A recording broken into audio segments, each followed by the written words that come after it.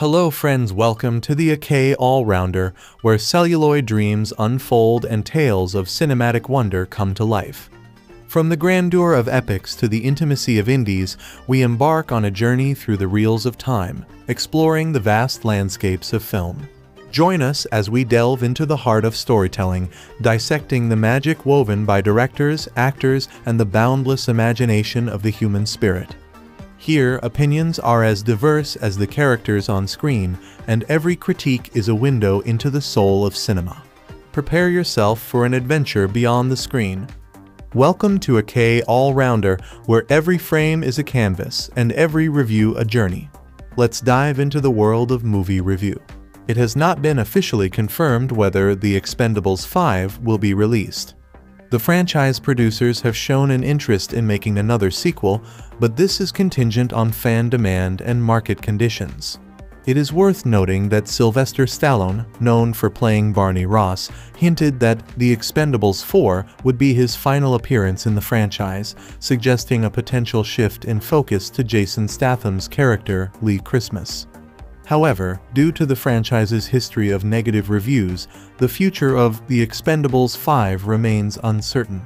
There is no set release date for the film, and the storyline is yet to be revealed. Fans should stay tuned for official updates from the producers. At present, there is no official confirmation of the release date for The Expendables 5. The franchise producers have expressed an interest in creating a fifth installment, but no specific date has been announced. The film's fate is uncertain, primarily due to its previous unfavorable critical reception. As a result, it remains unclear whether The Expendables 5 will materialize. Fans seeking updates on the film's status should watch for official announcements from the producers. Until then, the release date and plot details are unknown. The Expendables 4 producers address the possibility of The Expendables 5 and beyond, revealing that there's just one condition that must be met. Directed by Scott Waugh, the latest sequel sees Sylvester Stallone and Jason Statham return for more old-school action mayhem. While the new movie will represent Stallone's final time playing Barney Ross, Statham's Lee Christmas is seemingly being positioned as the new franchise lead. Ahead of The Expendables 4's release date, producers Kevin King Templeton and Les Weldon reveal to Daily Express that the franchise could very well continue beyond the latest movie. According to the producers, they'll keep making the movies as long as there's an appetite for it. None of the Expendables movies have really been critical darlings, but the first two, in particular, proved quite popular with audiences. The movies boasted a cast of some of the best and most iconic action movie stars of the last 40 years, in addition to featuring lots of bloody action sequences. The Expendables 3, however, despite featuring the most impressive cast yet, was a significant disappointment, with the PG-13 rating removing a key element of the franchise's success. The movie earned the lowest box office of the bunch, and the poor reception is likely why it took so long for a fourth movie to get off the ground. Although the third movie suggested it might be best that the franchise be laid to rest, it's possible that the R-rated Expendables 4 will breathe fresh life into it once more. It's unclear how the new movie will do at the box office, but the Expendables 4's cast alone certainly makes additional sequels an exciting proposition.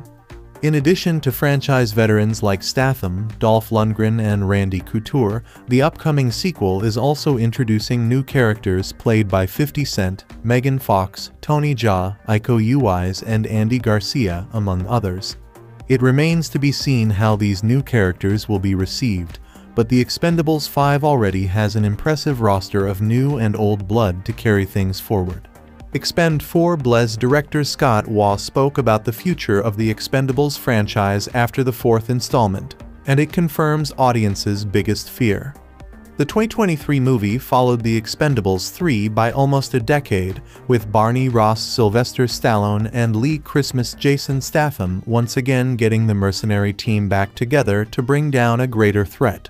While the Expendables franchise is known for introducing action heroes from the 80s and 90s with each consecutive movie, including such names as Dolph Lundgren, Chuck Norris, and Jean-Claude Van Damme, Expend4bles was a huge backstep.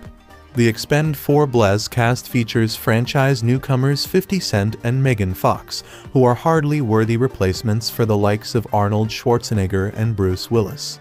That's one of the many reasons why the fourth Expendables movie totally bombed at the box office and received overwhelmingly negative reviews from critics.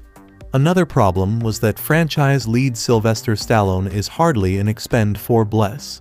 Recently, director Scott Waugh spoke about the Expendables' future, noting that Stallone is gone from the franchise for good, and this is the worst decision the studio could have made. Scott Waugh commented that Expend4bles is all about Sylvester Stallone's Barney Ross passing the torch to Jason Statham's Lee Christmas, and that the Expendables franchise is moving on without its original lead. Stallone not only starred in all four Expendables movies, but he also wrote the first three films and directed the one that started it all. Given his minimal involvement in Expend4bles, it wasn't a coincidence that the Forquel was the worst received movie in the series. Nevertheless, it's as if the studio learned all the wrong lessons from the fourth Expendables movie's failure Expend4bles flopped at the box office, grossing just 83 million in its opening weekend, which is a miserable performance for a movie that had a budget of 100 million.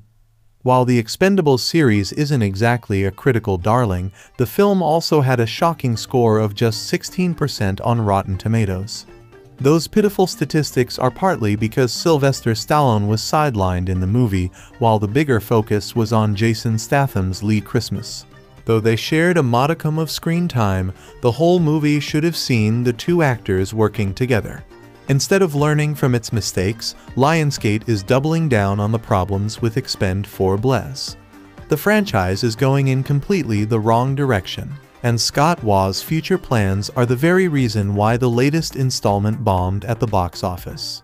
The reason why Stallone is hardly in Expend4bles is because of the creative differences between him and the studio. That led to Stallone leaving the project only to return in a neutered role two years later. Stallone's exit negatively impacted the development, production, and reception of Expend4bles, and that's happening all over again for the Expendables 5. If Lionsgate follows through with this direction, Lionsgate must find a suitable replacement for Sylvester Stallone for the Expendables 5 padding out the cast supporting Jason Statham with low-level actors and rappers isn't exciting, devalues the franchise, makes it feel like a direct-to-VOD series, and totally misunderstands what the Expendables series was about to begin with. In that respect, the Expend4bles follow-up needs another action hero to star alongside Statham if Stallone isn't going to do it. The obvious answer would be The Rock, as Dwayne Johnson has wanted to join The Expendables even if it'd be too reminiscent of his and Statham's Fast and Furious spin-off Hobbs and Shaw directed and co-written by Sylvester Stallone, who also starred as mercenary Barney Ross, The Expendables was a hit when it was released in 2010, drawing in viewers who wanted to see an old-school action movie that allowed Stallone to share the screen with Arnold Schwarzenegger and Bruce Willis for the first time. Two years later, The Expendables 2 directed by Simon West, but again co-written by Stallone was even more successful, and many fans feel that film is where the concept really reached its potential. Mistakes were made on 2014's The Expendables 3 directed by Patrick Hughes, co-written by Stallone that could have been easily fixed with a fourth film, which should have come along after a couple years. Instead, it took nine years for Expend4bles to happen and when it did, with Scott Waugh at the helm, Stallone not only didn't have a writing credit, but he was barely even in the movie. Expend4bles was a box office failure and wasn't exactly a critical darling either. But franchise cast member Dolph Lundgren thinks we might still see the Expendables 5 someday. Now, we have to wonder just how recently Lundgren might have talked to Stallone about anything Expendables related. Way back in October of 2021, when Expend4bles was in production, Stallone announced that he was moving on from the Expendables franchise, passing the baton over to co-star Jason Statham. Has he changed his mind in the 15 months since? Does he have an idea for the Expendables 5 that could save this sinking franchise? We'll have to wait and see. In the meantime, Stallone will be off working on Cliffhanger 2. I would love to see another sequel that's along the lines of The Expendables 2. If Stallone could make that happen with an Expendables 5, I'd be all for it. At the time of writing, The Expendables 5 does not have a release date as it has not been confirmed by the producers of the Expendables franchise. Even though the producers did not announce or confirm the development of The Expendables 5, they were open to the idea of making the fifth film. In an interview with the Daily Express, producers Kevin King Templeton and Les Weldon said that they would make more Expendables films as long as there was a market for them and if fans demand it. Moreover, if the Expendables 5 film happens, it will likely not involve Sylvester Stallone's Barney Ross. This is because Stallone revealed that Expend4bles would mark his last appearance as the character and that he was handing down the reins of the franchise to his co-star Jason Statham. Thus, if more Expendables films were made, it would see Statham's Lee Christmas as the lead character. However, there is also a great chance that the Expendables 5 or future Expendables films will not be made. This is because Expe 4 and D Blaze has so far received largely negative reviews from critics. If The Expendables 5 is made, then fans can expect Jason Statham to reprise his role of Lee Christmas as the main lead. The fifth film could also bring back Curtis Jackson 50 Cent as Easy Day, Megan Fox as Gina, Dolph Lundgren as Gunnar Jensen, Tony Jaa as Decha, Randy Couture as Toll Road, and Andy Garcia as Marsh. As The Expendables 5 has not been announced, it is unknown what the story of the film could be. However, it will likely revolve primarily around Jason Statham's Lee Christmas, with little or no presence from Sylvester Stallone's Barney Ross. This fifth entry in the franchise puts the Expendables on a mission to stop a terrorist organization headed by Uwais's Suarto Rahmat, which is smuggling nuclear warheads that could start a war between the United States and Russia. On top of that, there may be a mole in their midst, and a faceless nemesis of Barney's known by the codename Ocelot may be pulling the nefarious strings behind it all. There's a little more to the story, but that's more than enough to know going in. Nobody sees these movies for their intricate plotting, right? The Expendables are still Barney's crew, but for the first time in the franchise, Stallone gets second billing behind Jason Statham, returning as Lee Christmas. Of all the times to get a promotion, this isn't the best one. Statham tops a cast that, no disrespect to Curtis, 50 Cent Jackson, Megan Fox, or Andy Garcia, aren't exactly the shoot-em-up titans of the first three films. Expend4bles wastes the throwback talent it does have, doing a disservice to their contributions to the genre. Gunnar Jensen Dolph Lundgren is depicted living a sober and centered life, but at one point falls off the wagon in order to take a stiff drink. Watching Expend4bles, it's almost impossible not to follow his example. From the get-go, it's clear that the bar is set low. But Expend4bles looks and feels so cheap and inauthentic that it didn't so much take me out of the movie as it virtually pushed me out.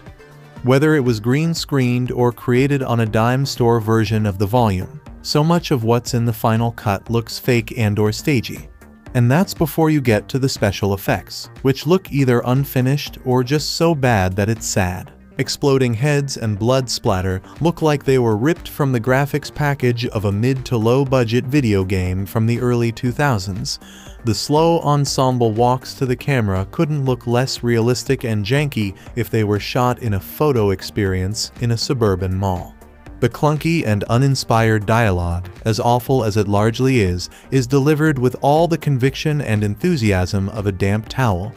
The actors often look almost embarrassed to say the lines they've been given. The sex toy glimpsed on a bar shelf in one scene delivers a more animated performance than some of the big names assembled here. While there has always been a tongue-in-cheek cheesiness to the franchise's scripting, past casts seem to embrace it and almost revel in it. In Expend4bles, it seems they're over it. There's not even much of the knowing, self-deprecating snark that made previous entries appealing. There are nods to Sly's previous on-screen action endeavors, such as Barney's history of thumb wrestling rather than arm wrestling, a la over the top prompting Christmas to dub him Thumbo. But it lands as weakly as it's delivered. a run of half-hearted gags about Toll Road's Randy Couture wrestling-related ear injury, and a wig that Jensen dons runs out of steam almost as quickly as it starts. The popularity of the Expendables movies has as much to do with banter and action as the names on the posters, and what's on display in Expend4bles plays like a stunt show at an underfunded theme park. Either the execution is weak, the effects are shoddy, or the editing misses the mark, wildly swinging between messy to the point of confusion or sloppy to the degree that it looks barely convincing. All too frequently, the kicks and punches land as poorly as the jokes. When any of the elements hit their target and give the audience hope of things improving, those hopes are quickly dashed. Even the props like the detonator that looks like an inhaler fused to a Happy Meal toy and the bomb that resembles a fan-made replica come across like cheap knockoffs. Expend4bles is a crushing disappointment that lacks any of the nostalgia, charisma, and charm that made the franchise appealing in the first place. Perhaps worst of all, this failed mission is boring. There is no pleasure taken in saying this once highly entertaining action franchise is well past its R-prime. It would have been great to have rounded the series off with a fifth entry, but after this flat and uninspired effort, the franchise doesn't deserve that last horror. In Expend4bles, the action is more digitally propulsive than it was in The Expendables 2010, The Expendables 2 2012, or The Expendables 3 2014. Yet the preferred mode of killing is reassuringly primitive. In scene after scene, characters use knives to slit people's throats, or they'll sometimes jam a knife directly into the throat. The villain does this in the opening sequence, which is the movie's way of saying welcome. Expend4bles is punctuated by those quick homicidal bursts of blood spatter. They're effective, but because they feel a lot like the video game slashings in a John Wick movie, the defining spirit of the Expendables series, the aging action heroes of the Reagan era, all gathered together for a big dumb Neo 80s marathon of old school combat destruction now feels nearly as far away as the 80s did when the first movie came out. The first two Expendables films had a relatively stable cast, with Easter egg cameos by folks like Chuck Norris and Arnold Schwarzenegger. But by the time of The Expendables 3, the franchise had begun to rotate in actors Antonio Banderas, Kelsey Grammer, Wesley Snipes, Mel Gibson in a way that theoretically expanded the series' appeal even as it watered down the original Dirty Dozen. In Expend4bles, which revives the series after close to a decade, the revolving door casting has now gotten so random that it's starting to feel like the action equivalent of Celebrity Rehab reigning badass Lee Christmas Jason Statham has an ex-girlfriend, Gina played by Megan Fox, the two of whom like beating each other up as foreplay, which may be why they broke up. When Christmas gets bounced out of the Expendables for an infraction Gina, a CIA operative, takes over his leadership position, and much as I like Megan Fox, I can't say that she's particularly convincing in that role. Curtis 50 Cent Jackson is on hand, clipped and likable, but reminding you why his big screen crossover career never quite panned out, and so is Antonio Banderas look-alike Jacob Scipio as Galan, the son of Banderas' Galgo. The new behind-the-scenes honcho is played by Andy Garcia, who somehow makes you feel like he's been in every one of these films. The heart of an Expendables movie should be the interplay of Sylvester Stallone and Jason Statham, and the two get their ball busting on in a couple of early scenes when Sly's Barney Ross is trying to retrieve his heavy metal death ring from some stooge who won it in a bet. Statham and Stallone take on a bar full of refrigerator-sized goons and defeat them as if they were swatting flies. But then they go on their mission, which is to stop Suarto Iko Uwais, a mercenary terrorist, from getting his hands on a collection of nuclear detonators. As they ambush the compound where Suarto is holed up its Muammar Gaddafi's former chemical plant in Libya, Barney zooms into the action on the Expendables shark-mouthed plane, only to get shot out of the sky. At the crash site, we see the stump of his head, his charred finger with that ring on it. But I would guess more than half the audience will say, not quite sure I'm buying that. With Barney out of the picture, Christmas officially gets sidelined for the crime of letting the bad guy slip away, but all because he was trying to save Barney. no loyal deed goes unpunished. Then again, Christmas isn't really out of the picture. Having teamed up with Decha, an ex-expendable played by the Thai martial arts star Tony Jaa, he's ready to sneak back to the rest of the team as they infiltrate a ship outfitted to look like a US aircraft carrier. It's there that Suarto has a nuke all rigged and ready to go. He wants to detonate it once the ship enters Russian waters so that he can start World War Roman III. Ah, these villains and their eminently relatable plans. Throat slashings aside, I haven't said a lot about the action in Expend4bles, and that's because it's okay. As staged by director Scott Waugh, it is, I guess, relentless enough and kinetic enough, yet there isn't much of a stylistic imprint to it. The plot has almost no twists, except for one big one at the end that can only be called corny. And since the action no longer feels rooted in the kamikaze analog aesthetic of the Commando meets Cobra 80s, this may be the first Expendables movie that doesn't feel linked to the old canon film's spirit of trash taken to the extreme. This is true 21st century trash, a movie in which the action itself is expendable. Who doesn't want to see Jason Statham face off against a social media influencer? Lee Christmas' takedown of a noxious YouTuber is perhaps the highlight of this fourth go-around for Sylvester Stallone's one-dimensional men and token women on a mission movies. Directed by Scott Waugh Need for Speed, Expend4bles pleasingly restores the tougher violence of the series following the watered-down 12A exploits of Expendables 3, but even the reinstated throat slits and unexpected decapitations can't breathe new life into a franchise surely due for the body bag co-written by Kurt Wimmer, Max Adams, and Tad Daggerhart the latter. A more creative throwback action hero name than anything on display here, the plot is a dagger-thin affair, as the Expendables take on terrorist Rahmat Iko Uwais, happily having more to do here than he did with The Force Awakens Kanjiklub in a battle for that action movie MacGuffin stalwart, nuclear detonators. After a lengthy, largely uninspired set piece in Colonel Gaddafi's chemical plant, the story complicates as Rahmat is revealed to be working for a mysterious figure known as Ocelot. It's never explained why he is named after a medium-sized spotted wild cat who left Ross high and dry on a sortie years ago. This is all tied into some guff about orchestrating a war between the US and the Russians, but it doesn't really matter because what is important here is Statham's souped-up knuckle duster. As a movie crew, the Expendables are a mostly charmless bunch Randy Couture's Toll Road has a personality built around a cauliflower ear, and the chemistry between the vaunted trinity of Stallone, Statham and Lundgren is four films in still difficult to discern.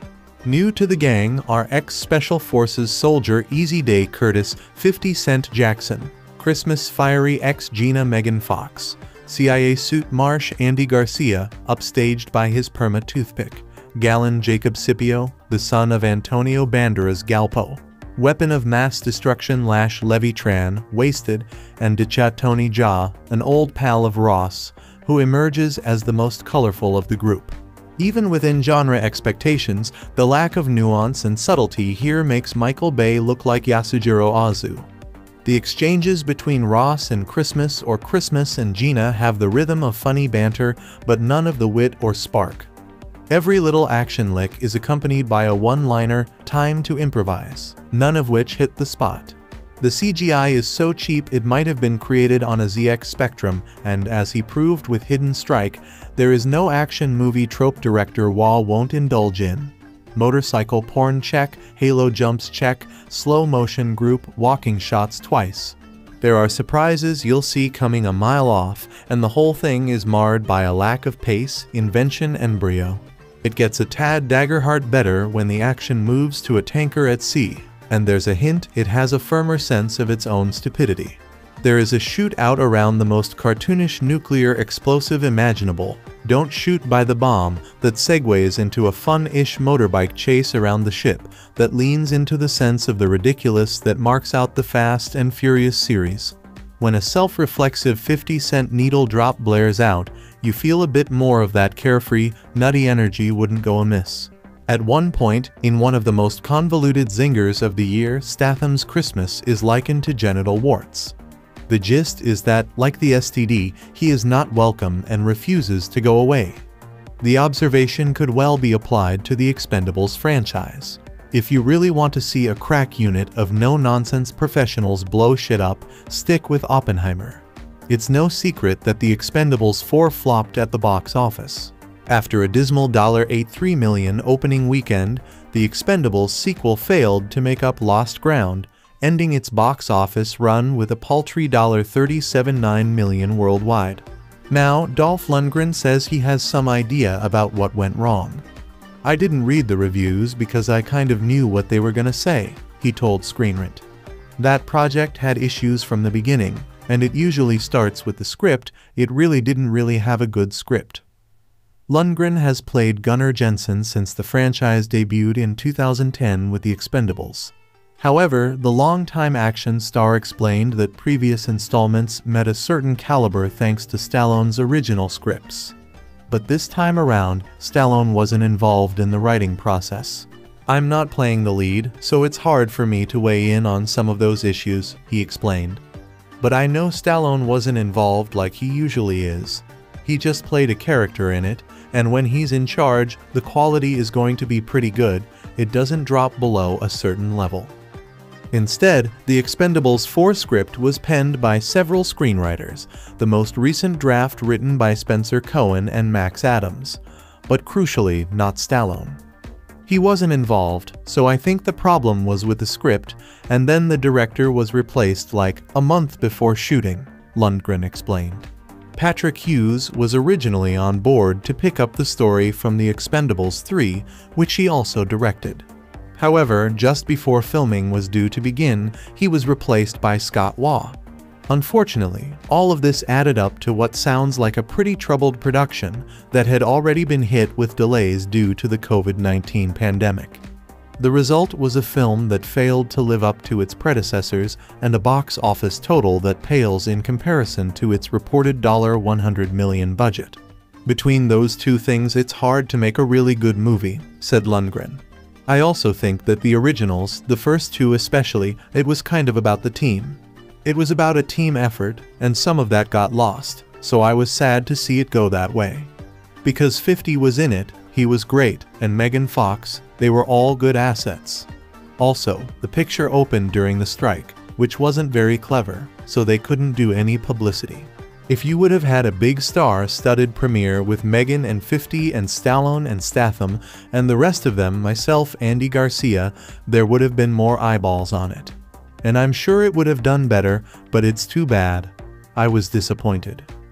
Ines The Expendables 4 review gave it 310 and said, Expend4bles is a crushing disappointment that lacks any of the nostalgia, charisma, and charm that made the franchise appealing in the first place.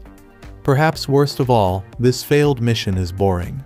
There is no pleasure taken in saying this once highly entertaining action franchise is well past its R-prime. It would have been great to have rounded the series off with a fifth entry, but after this flat and uninspired effort, the franchise doesn't deserve that last hurrah. Want to read more about the Expendables? Check out how to watch The Expendables 4 online and why Jean-Claude Van Damme was rejected from the Fast and Furious franchise. Sequels and sequels of sequels have trouble differentiating themselves from their brethren from time to time. But Expendables 4 or Expend4bles, as this fourth and final entry in the mercenary-based action series has been marketed, indisputably takes the cake for recycling previously used material in a not exactly fresh context. At least the final third and maybe more of this jokey, fight-filled, and increasingly effects-driven last hurrah is nearly a twin brother to the climactic stretch of last month's waterlogged Jason Statham extravaganza Meg 2. The trench, wherein the rugged Brit takes on and once again prevails over a sea monster that makes Moby Dick look like a backyard swimming pool pet. It really is a shameless borrowing that's impossible to ignore if you've seen Meg 2, as the tireless former male model with perfectly maintained facial stubble once again earns his status as master of the seven seas.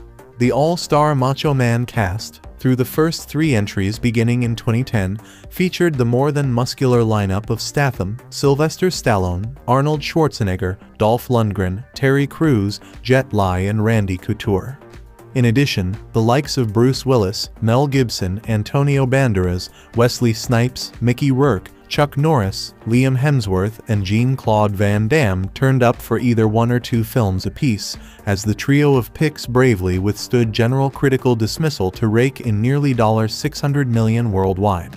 However, revenues did drop severely with the notably inferior third installment in 2014, which at the time marked the end of the ride.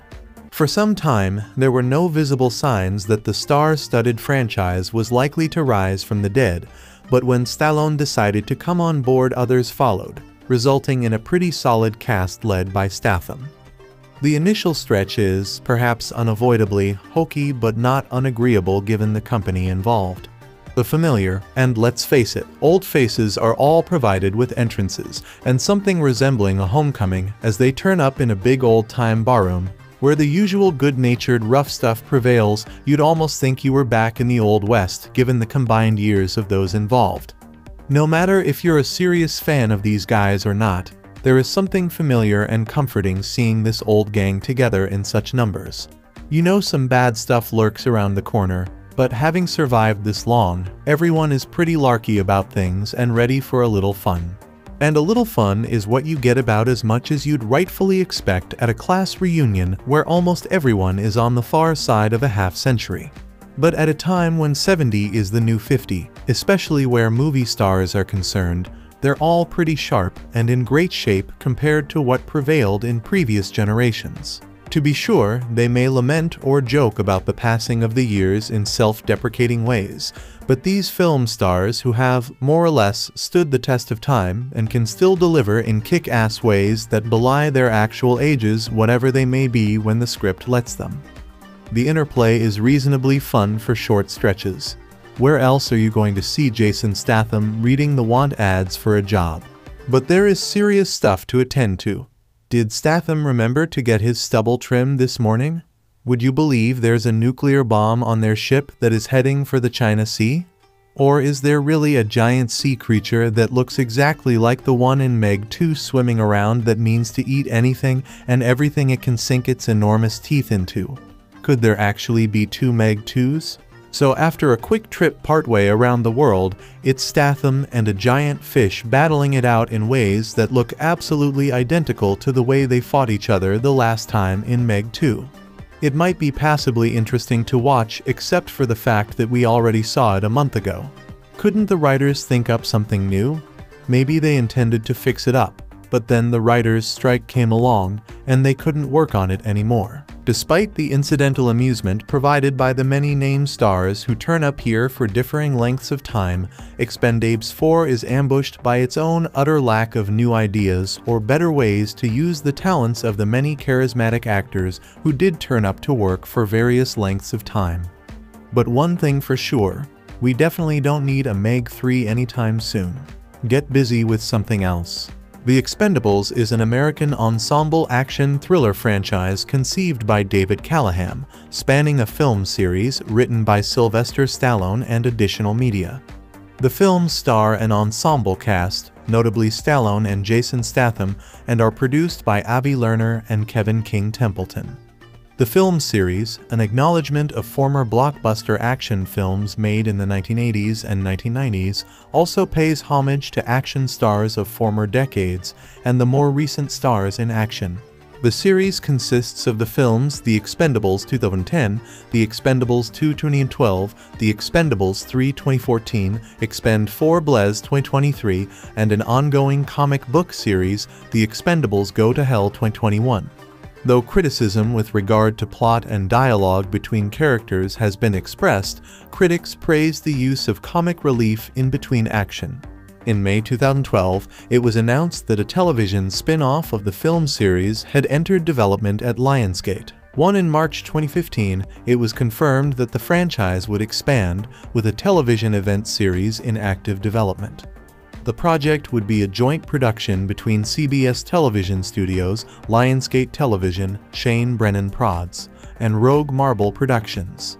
Shane Brennan has signed on as creator, producer, and showrunner, as well as serving as co-writer with Greg Coolidge and Kirk Ward. Stallone would serve as executive producer alongside Avi Lerner, Kevin King, Grant Anderson, and Brennan. The plot of the series was announced to feature a new team of expendables composed of iconic television stars who are on a mission to stop the dangerous activities of terrorist organizations too.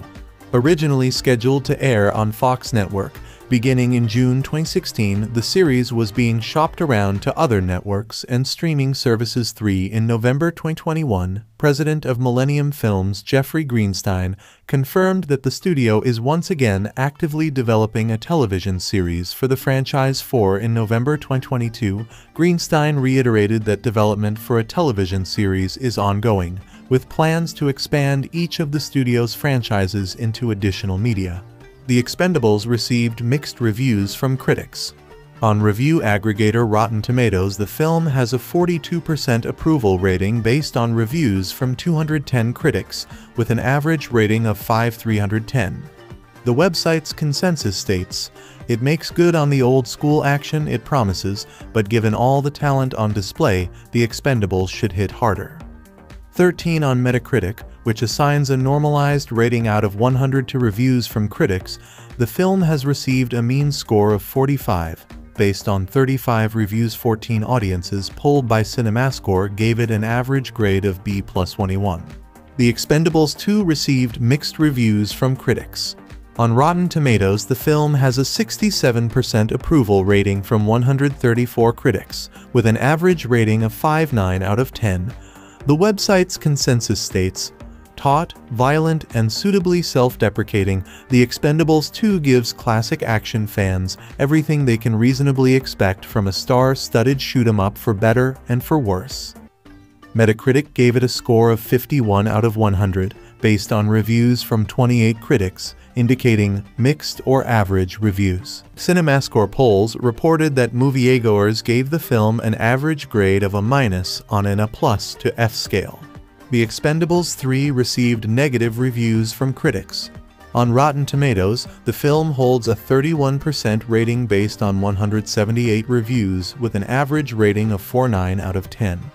The site's consensus reads, like its predecessors, The Expendables 3 offers a modicum of all-star thrills for old-school action thriller aficionados, but given all the talent assembled, it should have been a lot more fun.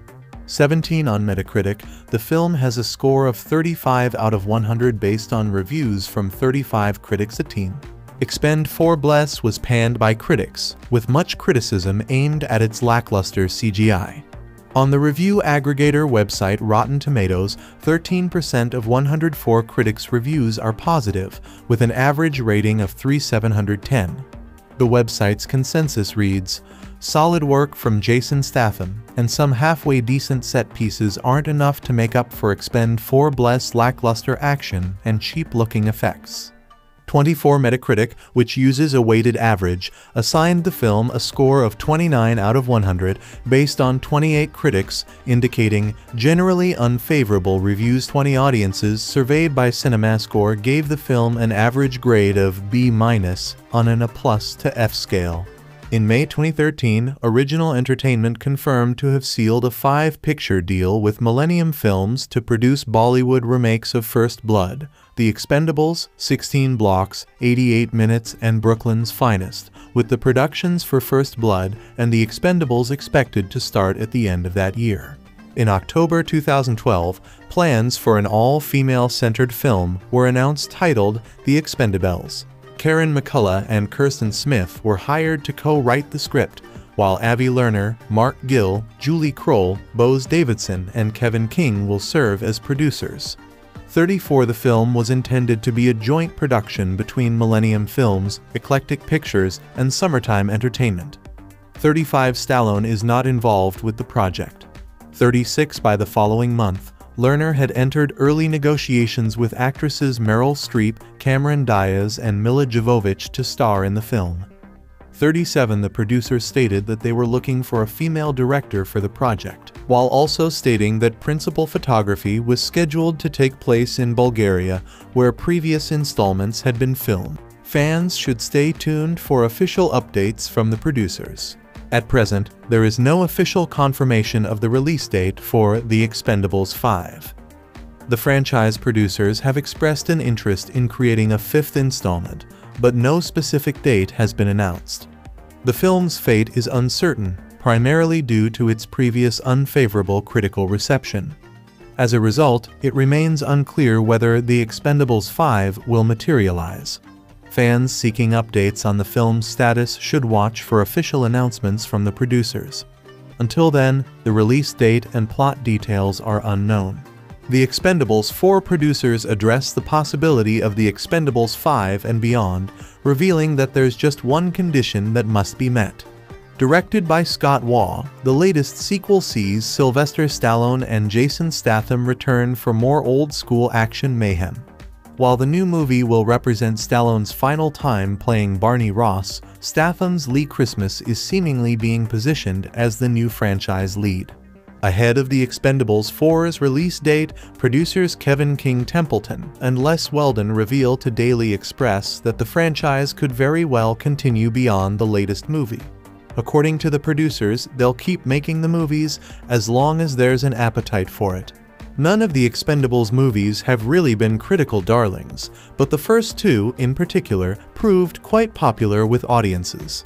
The movies boasted a cast of some of the best and most iconic action movie stars of the last 40 years, in addition to featuring lots of bloody action sequences. The Expendables 3, however, despite featuring the most impressive cast yet, was a significant disappointment, with the PG-13 rating removing a key element of the franchise's success. The movie earned the lowest box office of the bunch, and the poor reception is likely why it took so long for a fourth movie to get off the ground. Although the third movie suggested it might be best that the franchise be laid to rest, it's possible that the R-rated Expendables 4 will breathe fresh life into it once more. It's unclear how the new movie will do at the box office, but The Expendables 4's cast alone certainly makes additional sequels an exciting proposition. In addition to franchise veterans like Statham, Dolph Lundgren, and Randy Couture, the upcoming sequel is also introducing new characters played by 50 Cent, Megan Fox, Tony Jaa, Iko Uwais, and Andy Garcia, among others. It remains to be seen how these new characters will be received, but The Expendables 5 already has an impressive roster of new and old blood to carry things forward. Expend4bles director Scott Waugh spoke about the future of the Expendables franchise after the fourth installment, and it confirms audiences' biggest fear. The 2023 movie followed The Expendables 3 by almost a decade, with Barney Ross Sylvester Stallone and Lee Christmas Jason Statham once again getting the mercenary team back together to bring down a greater threat. While the Expendables franchise is known for introducing action heroes from the 80s and 90s with each consecutive movie, including such names as Dolph Lundgren, Chuck Norris, and Jean-Claude Van Damme, Expend4bles was a huge backstep. The Expend4bles cast features franchise newcomers 50 Cent and Megan Fox, who are hardly worthy replacements for the likes of Arnold Schwarzenegger and Bruce Willis. That's one of the many reasons why the fourth Expendables movie totally bombed at the box office and received overwhelmingly negative reviews from critics. Another problem was that franchise lead Sylvester Stallone is hardly an Expend4bles. Recently, director Scott Waugh spoke about the Expendables' future, noting that Stallone is gone from the franchise for good, and this is the worst decision the studio could have made. Scott Waugh commented that Expend4bles is all about Sylvester Stallone's Barney Ross passing the torch to Jason Statham's Lee Christmas, and that the Expendables franchise is moving on without its original lead. Stallone not only starred in all four Expendables movies, but he also wrote the first three films and directed the one that started it all. Given his minimal involvement in Expend4bles, it wasn't a coincidence that the fourquel was the worst received movie in the series. Nevertheless, it's as if the studio learned all the wrong lessons from the fourth Expendables movie's failure. Expend4bles flopped at the box office, grossing just 83 million in its opening weekend, which is a miserable performance for a movie that had a budget of $100 million. While the Expendables series isn't exactly a critical darling, the film also had a shocking score of just 16% on Rotten Tomatoes. Those pitiful statistics are partly because Sylvester Stallone was sidelined in the movie, while the bigger focus was on Jason Statham's Lee Christmas.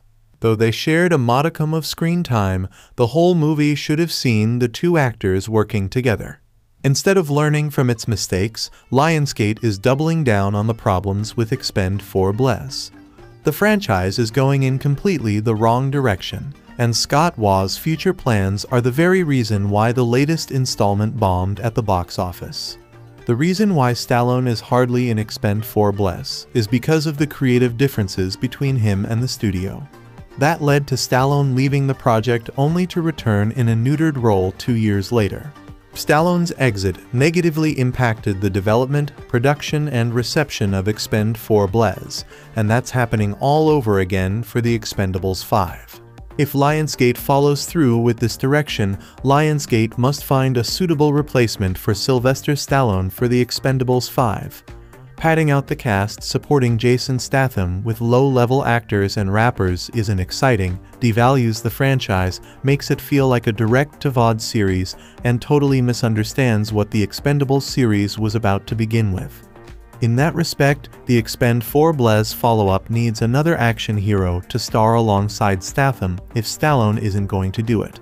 The obvious answer would be The Rock, as Dwayne Johnson has wanted to join The Expendables even if it'd be too reminiscent of his and Statham's Fast and Furious spin-off Hobbs and Shaw directed and co-written by Sylvester Stallone, who also starred as mercenary Barney Ross, The Expendables was a hit when it was released in 2010, drawing in viewers who wanted to see an old-school action movie that allowed Stallone to share the screen with Arnold Schwarzenegger and Bruce Willis for the first time. Two years later, The Expendables 2 directed by Simon West, but again co-written by Stallone was even more successful, and many fans feel that film is where the concept really reached its potential. Mistakes were made on 2014's The Expendables 3 directed by Patrick Hughes, co-written by Stallone that could have been easily fixed with a fourth film, which should have come along after a couple years. Instead, it took nine years for Expend4bles to happen and when it did, with Scott Waugh at the helm, Stallone not only didn't have a writing credit, but he was barely even in the movie.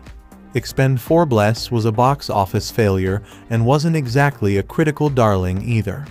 But franchise cast member Dolph Lundgren thinks we might still see the Expendables 5 someday.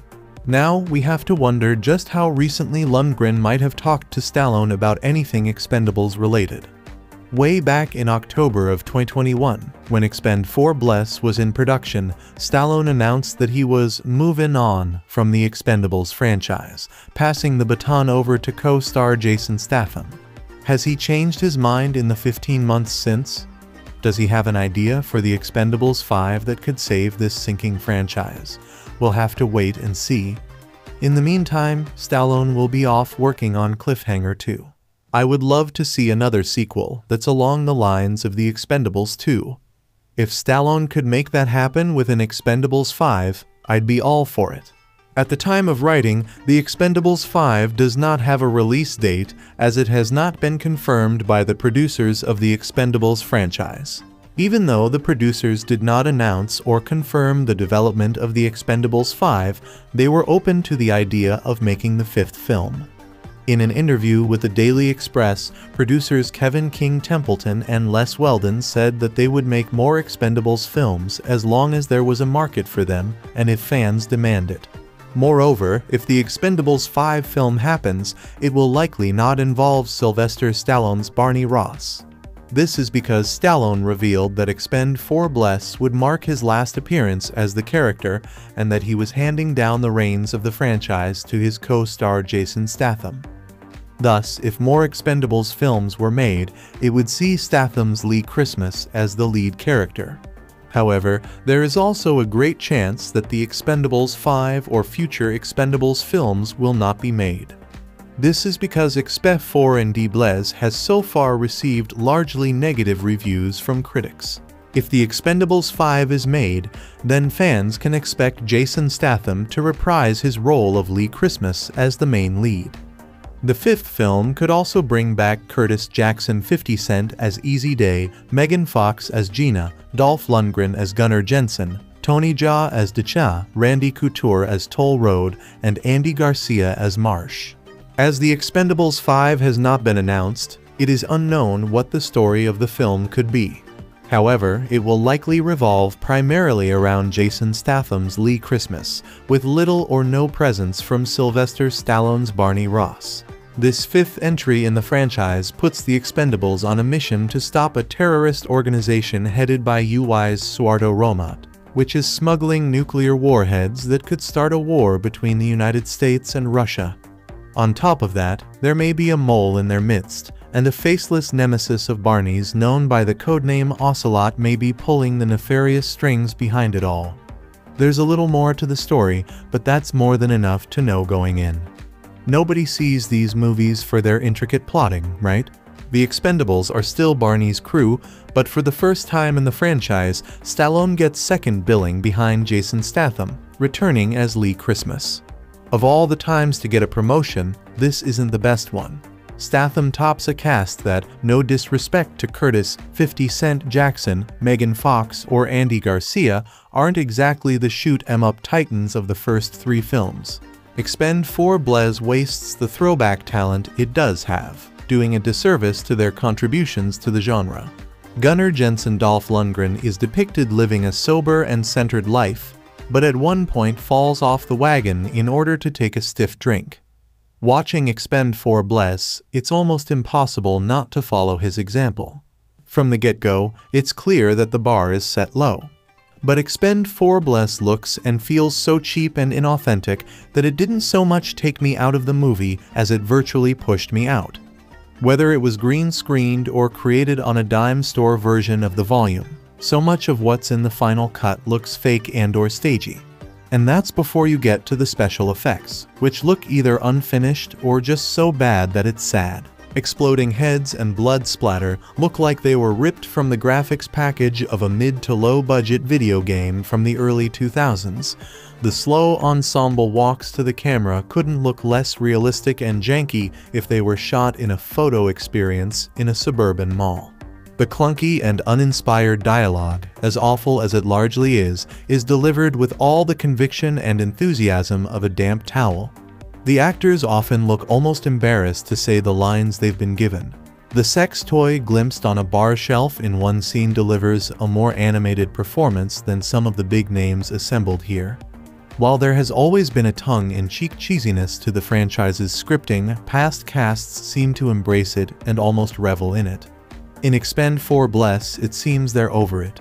There's not even much of the knowing, self-deprecating snark that made previous entries appealing. There are nods to Sly's previous on-screen action endeavors, such as Barney's history of thumb wrestling rather than arm wrestling, a la Over the Top prompting Christmas to dub him Thumbo. But it lands as weakly as it's delivered a run of half-hearted gags about Toll Road's Randy Couture wrestling-related ear injury and a wig that Jensen dons runs out of steam almost as quickly as it starts. The popularity of the Expendables movies has as much to do with banter and action as the names on the posters, and what's on display in Expend4bles plays like a stunt show at an underfunded theme park. Either the execution is weak, the effects are shoddy, or the editing misses the mark, wildly swinging between messy to the point of confusion or sloppy to the degree that it looks barely convincing. All too frequently, the kicks and punches land as poorly as the jokes. When any of the elements hit their target and give the audience hope of things improving, those hopes are quickly dashed. Even the props like the detonator that looks like an inhaler fused to a Happy Meal toy and the bomb that resembles a fan-made replica come across like cheap knockoffs. Expend4bles is a crushing disappointment that lacks any of the nostalgia, charisma, and charm that made the franchise appealing in the first place. Perhaps worst of all, this failed mission is boring. There is no pleasure taken in saying this once highly entertaining action franchise is well past its R-prime. It would have been great to have rounded the series off with a fifth entry, but after this flat and uninspired effort, the franchise doesn't deserve that last hurrah. In Expend4bles, the action is more digitally propulsive than it was in The Expendables 2010, The Expendables 2 2012, or The Expendables 3 2014. Yet the preferred mode of killing is reassuringly primitive. In scene after scene, characters use knives to slit people's throats, or they'll sometimes jam a knife directly into the throat. The villain does this in the opening sequence, which is the movie's way of saying welcome. Expend4bles is punctuated by those quick homicidal bursts of blood spatter. They're effective, but because they feel a lot like the video game slashings in a John Wick movie, the defining spirit of the Expendables series, the aging action heroes of the Reagan era, all gathered together for a big dumb Neo, 80s marathon of old-school combat destruction now feels nearly as far away as the 80s did when the first movie came out. The first two Expendables films had a relatively stable cast, with Easter egg cameos by folks like Chuck Norris and Arnold Schwarzenegger.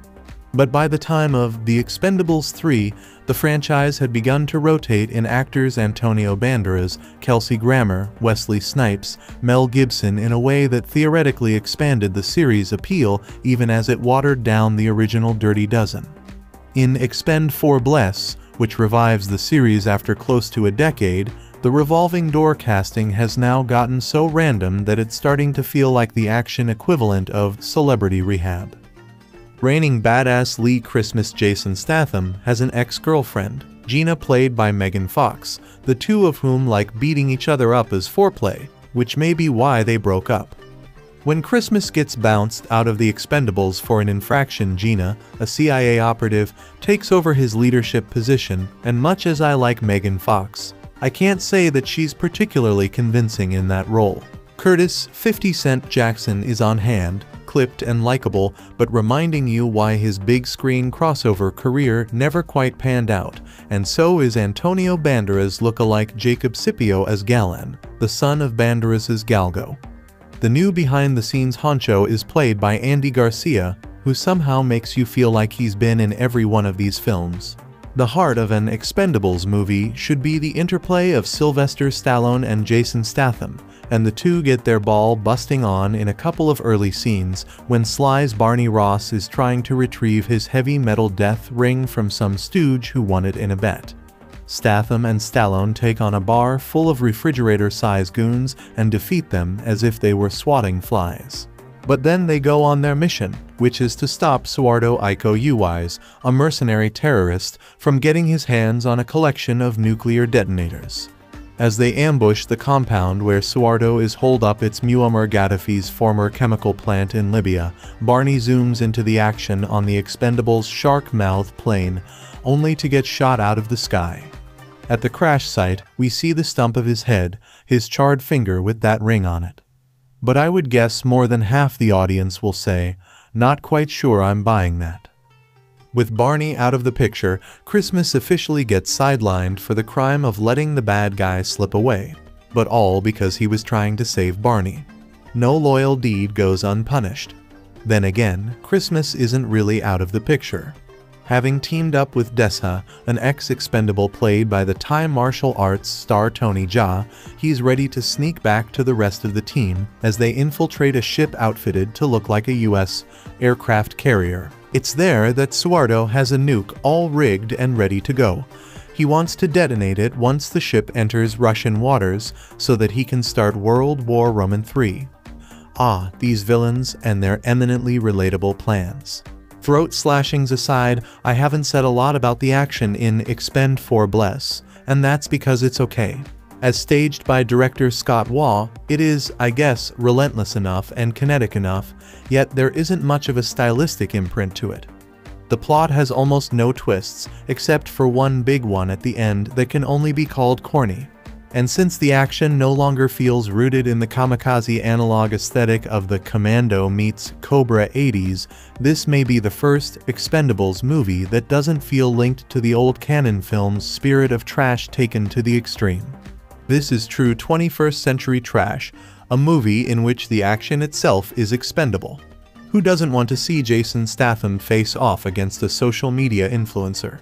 Lee Christmas' takedown of a noxious YouTuber is perhaps the highlight of this fourth go-around for Sylvester Stallone's one-dimensional men and token women on a mission movies.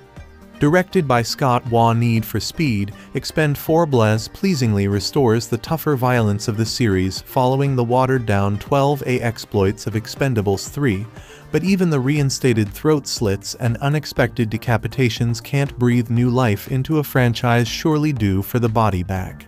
Co-written by Kurt Wimmer, Max Adams, and Tad Daggerhart the latter, a more creative throwback action hero name than anything on display here, the plot is a dagger-thin affair, as the Expendables take on terrorist Rahmat Iko Uwais, happily having more to do here than he did with the Force Awakens Kanjiklub in a battle for that action movie MacGuffin stalwart, nuclear detonators. After a lengthy, largely uninspired set piece in Colonel Gaddafi's chemical plant, the story complicates as Rahmat is revealed to be working for a mysterious figure known as Ocelot. It's never explained why he is named after a medium-sized spotted wild cat who left Ross high and dry on a sortie years ago. This is all tied into some guff about orchestrating a war between the S and the Russians, but it doesn't really matter because what is important here is Statham's souped-up knuckle duster. As a movie crew, the Expendables are a mostly charmless bunch Randy Couture's Toll Road has a personality built around a cauliflower ear, and the chemistry between the vaunted trinity of Stallone, Statham and Lundgren is four films in still difficult to discern. New to the gang are ex-Special Forces soldier Easy Day Curtis 50 Cent Jackson, Christmas fiery ex-Gina Megan Fox, CIA suit Marsh Andy Garcia, upstaged by his perma toothpick, Galan Jacob Scipio, the son of Antonio Banderas Galgo, weapon of mass destruction Lash Levy Tran, wasted, and Decha Tony Jaa, an old pal of Ross, who emerges as the most colorful of the group. Even within genre expectations, the lack of nuance and subtlety here makes Michael Bay look like Yasujiro Ozu. The exchanges between Ross and Christmas or Christmas and Gina have the rhythm of funny banter, but none of the wit or spark. Every little action lick is accompanied by a one-liner, time to improvise, none of which hit the spot. The CGI is so cheap it might have been created on a ZX Spectrum, and as he proved with Hidden Strike, there is no action movie trope director Waugh won't indulge in. Motorcycle porn check, halo jumps check, slow motion group walking shots twice. There are surprises you'll see coming a mile off, and the whole thing is marred by a lack of pace, invention, and brio. It gets a tad Daggerhart better when the action moves to a tanker at sea, and there's a hint it has a firmer sense of its own stupidity. There is a shootout around the most cartoonish nuclear explosive imaginable, don't shoot by the bomb, that segues into a fun-ish motorbike chase around the ship that leans into the sense of the ridiculous that marks out the Fast and Furious series. When a self-reflexive 50-cent needle drop blares out, you feel a bit more of that carefree, nutty energy wouldn't go amiss. At one point, in one of the most convoluted zingers of the year, Statham's Christmas is likened to genital warts.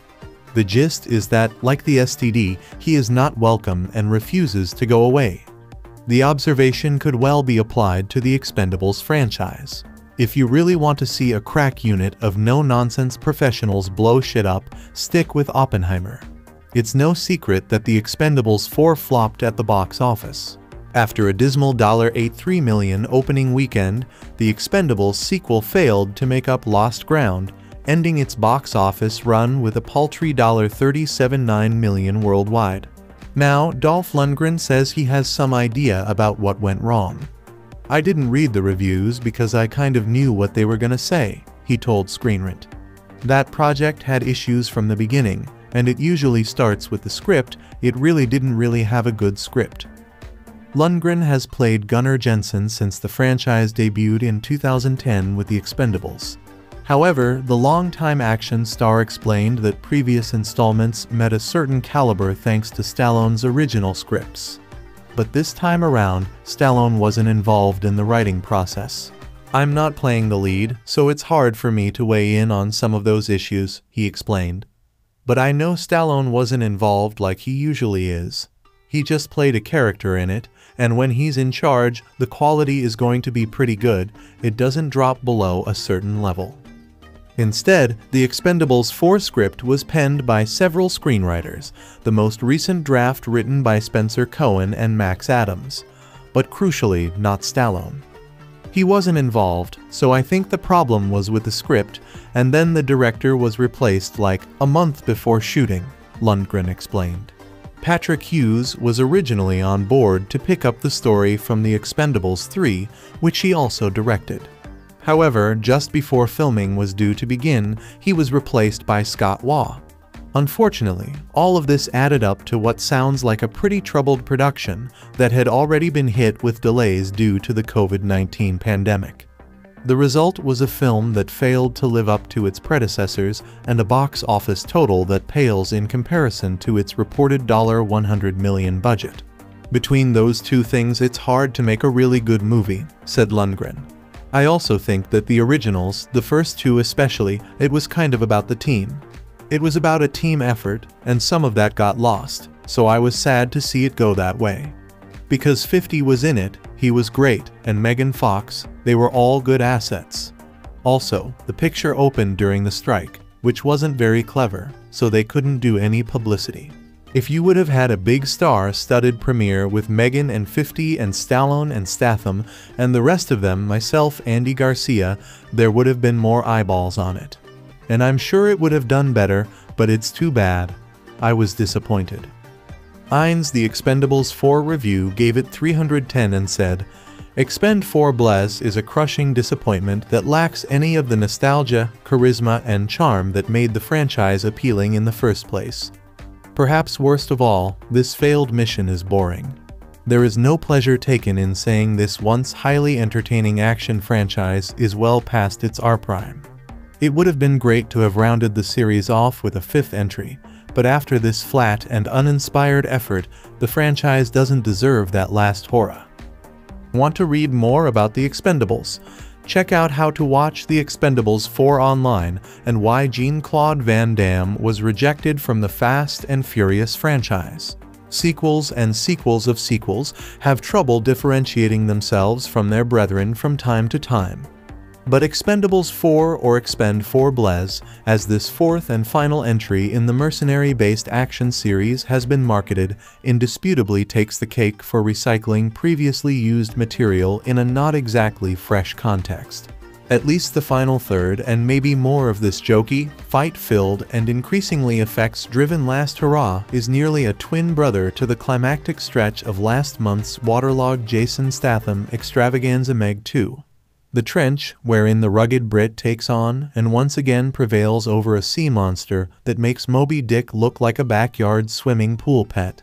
It really is a shameless borrowing that's impossible to ignore if you've seen Meg 2, as the tireless former male model with perfectly maintained facial stubble once again earns his status as master of the seven seas. The all-star Macho Man cast, through the first three entries beginning in 2010, featured the more than muscular lineup of Statham, Sylvester Stallone, Arnold Schwarzenegger, Dolph Lundgren, Terry Crews, Jet Li and Randy Couture. In addition, the likes of Bruce Willis, Mel Gibson, Antonio Banderas, Wesley Snipes, Mickey Rourke, Chuck Norris, Liam Hemsworth, and Jean-Claude Van Damme turned up for either one or two films apiece, as the trio of picks bravely withstood general critical dismissal to rake in nearly 600 million worldwide. However, revenues did drop severely with the notably inferior third installment in 2014, which at the time marked the end of the ride. For some time, there were no visible signs that the star-studded franchise was likely to rise from the dead, but when Stallone decided to come on board others followed, resulting in a pretty solid cast led by Statham. The initial stretch is, perhaps unavoidably, hokey but not unagreeable given the company involved. The familiar, and let's face it, old faces are all provided with entrances and something resembling a homecoming as they turn up in a big old-time barroom where the usual good-natured rough stuff prevails, you'd almost think you were back in the Old West given the combined years of those involved. No matter if you're a serious fan of these guys or not, there is something familiar and comforting seeing this old gang together in such numbers. You know some bad stuff lurks around the corner, but having survived this long, everyone is pretty larky about things and ready for a little fun. And a little fun is what you get about as much as you'd rightfully expect at a class reunion where almost everyone is on the far side of a half century. But at a time when 70 is the new 50, especially where movie stars are concerned, they're all pretty sharp and in great shape compared to what prevailed in previous generations. To be sure, they may lament or joke about the passing of the years in self-deprecating ways, but these film stars who have, more or less, stood the test of time and can still deliver in kick-ass ways that belie their actual ages whatever they may be when the script lets them. The interplay is reasonably fun for short stretches. Where else are you going to see Jason Statham reading the want ads for a job? But there is serious stuff to attend to. Did Statham remember to get his stubble trimmed this morning? Would you believe there's a nuclear bomb on their ship that is heading for the China Sea? Or is there really a giant sea creature that looks exactly like the one in Meg 2 swimming around that means to eat anything and everything it can sink its enormous teeth into? Could there actually be two Meg 2s? So after a quick trip partway around the world, it's Statham and a giant fish battling it out in ways that look absolutely identical to the way they fought each other the last time in Meg 2. It might be passably interesting to watch except for the fact that we already saw it a month ago. Couldn't the writers think up something new? Maybe they intended to fix it up, but then the writers' strike came along and they couldn't work on it anymore. Despite the incidental amusement provided by the many named stars who turn up here for differing lengths of time, Expendables 4 is ambushed by its own utter lack of new ideas or better ways to use the talents of the many charismatic actors who did turn up to work for various lengths of time. But one thing for sure, we definitely don't need a Meg 3 anytime soon. Get busy with something else. The Expendables is an American ensemble action thriller franchise conceived by David Callaham, spanning a film series written by Sylvester Stallone and additional media. The films star an ensemble cast, notably Stallone and Jason Statham, and are produced by Avi Lerner and Kevin King Templeton. The film series, an acknowledgement of former blockbuster action films made in the 1980s and 1990s, also pays homage to action stars of former decades and the more recent stars in action. The series consists of the films The Expendables 2010, The Expendables 2 2012, The Expendables 3 2014, Expend4bles 2023, and an ongoing comic book series, The Expendables Go to Hell 2021. Though criticism with regard to plot and dialogue between characters has been expressed, critics praise the use of comic relief in between action. In May 2012, it was announced that a television spin-off of the film series had entered development at Lionsgate. One in March 2015, it was confirmed that the franchise would expand, with a television event series in active development. The project would be a joint production between CBS Television Studios, Lionsgate Television, Shane Brennan Prods, and Rogue Marble Productions. Shane Brennan has signed on as creator, producer, and showrunner, as well as serving as co-writer with Greg Coolidge and Kirk Ward. Stallone would serve as executive producer alongside Avi Lerner, Kevin King, Grant Anderson, and Brennan. The plot of the series was announced to feature a new team of expendables composed of iconic television stars who are on a mission to stop the dangerous activities of terrorist organizations too. Originally scheduled to air on Fox Network, beginning in June 2016, the series was being shopped around to other networks and streaming services 3 in November 2021. President of Millennium Films Jeffrey Greenstein confirmed that the studio is once again actively developing a television series for the franchise 4 in November 2022. Greenstein reiterated that development for a television series is ongoing, with plans to expand each of the studio's franchises into additional media. The Expendables received mixed reviews from critics. On review aggregator Rotten Tomatoes, the film has a 42% approval rating based on reviews from 210 critics, with an average rating of 5,310. The website's consensus states, it makes good on the old school action it promises, but given all the talent on display, The Expendables should hit harder.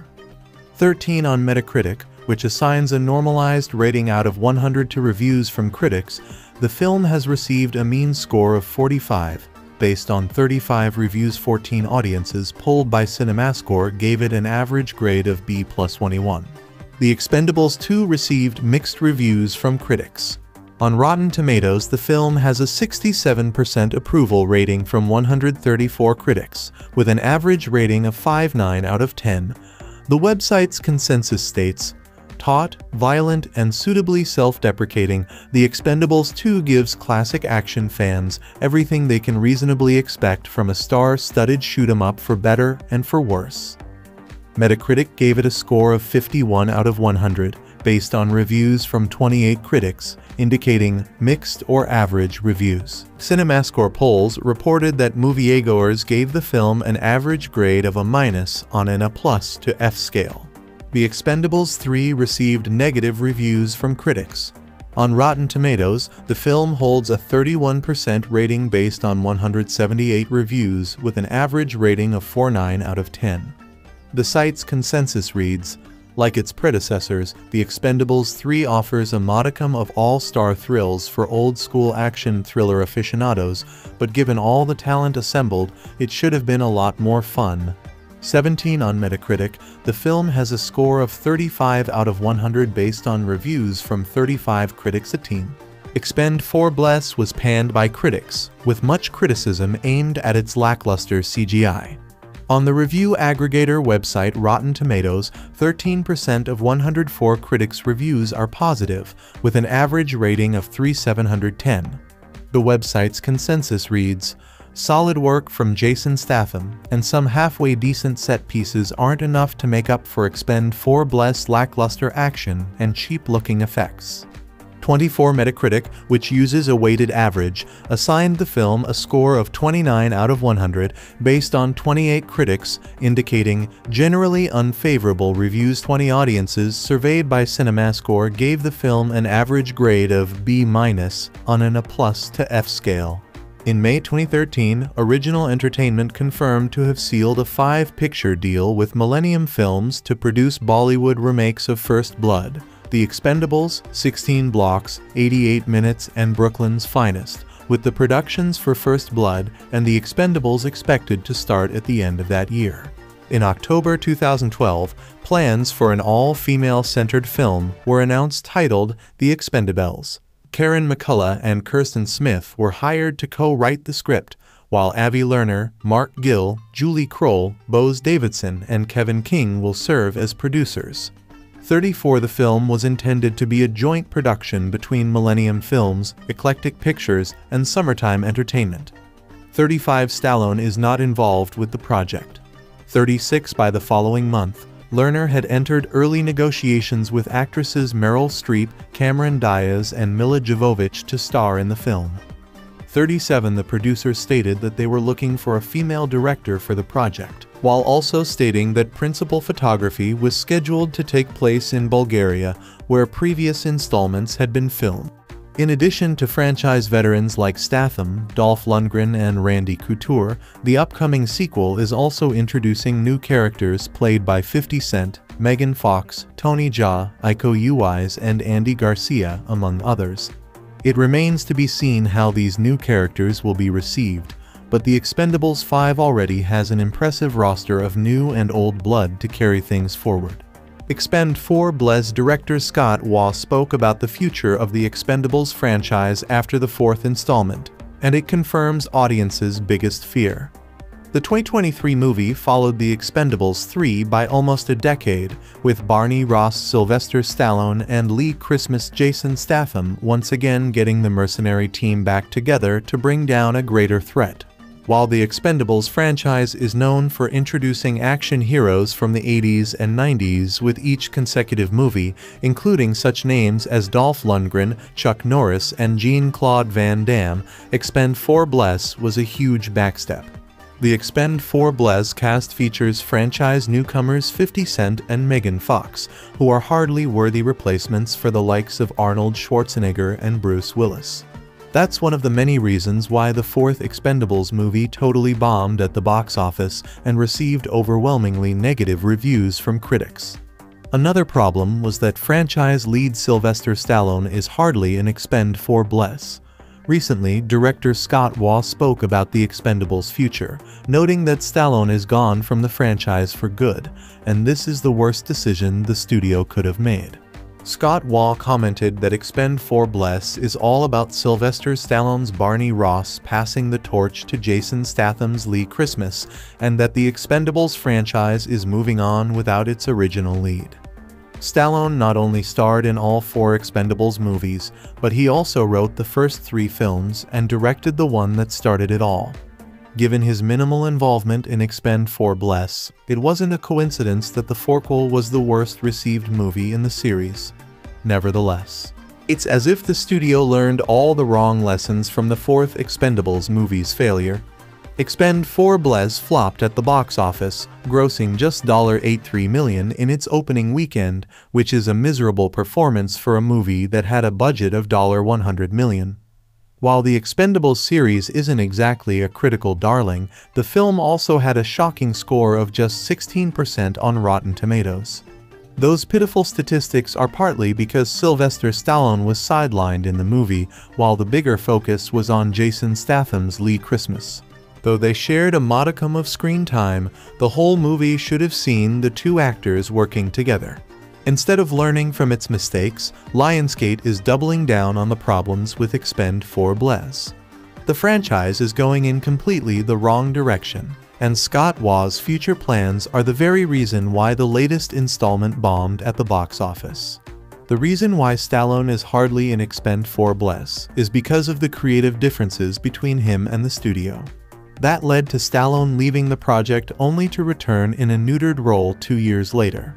Stallone's exit negatively impacted the development, production, and reception of Expend4bles, and that's happening all over again for the Expendables 5. If Lionsgate follows through with this direction, Lionsgate must find a suitable replacement for Sylvester Stallone for the Expendables 5 padding out the cast supporting Jason Statham with low-level actors and rappers isn't exciting, devalues the franchise, makes it feel like a direct-to-VOD series, and totally misunderstands what the Expendables series was about to begin with. In that respect, the Expend4bles follow-up needs another action hero to star alongside Statham if Stallone isn't going to do it. The obvious answer would be The Rock, as Dwayne Johnson has wanted to join The Expendables even if it'd be too reminiscent of his and Statham's Fast and Furious spin-off Hobbs and Shaw directed and co-written by Sylvester Stallone, who also starred as mercenary Barney Ross, The Expendables was a hit when it was released in 2010, drawing in viewers who wanted to see an old-school action movie that allowed Stallone to share the screen with Arnold Schwarzenegger and Bruce Willis for the first time. Two years later, The Expendables 2 directed by Simon West, but again co-written by Stallone was even more successful, and many fans feel that film is where the concept really reached its potential. Mistakes were made on 2014's The Expendables 3 directed by Patrick Hughes, co-written by Stallone that could have been easily fixed with a fourth film, which should have come along after a couple years.